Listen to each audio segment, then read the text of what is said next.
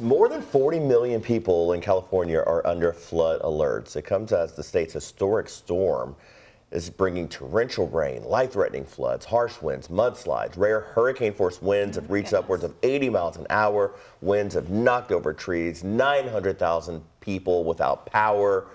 Eight counties in California are under a state of emergency where upwards of a foot of rain could fall. In fact, when we talk about the, the, the rainfall here, several months worth of rainfall is expected by Wednesday. Yeah. Months, two days.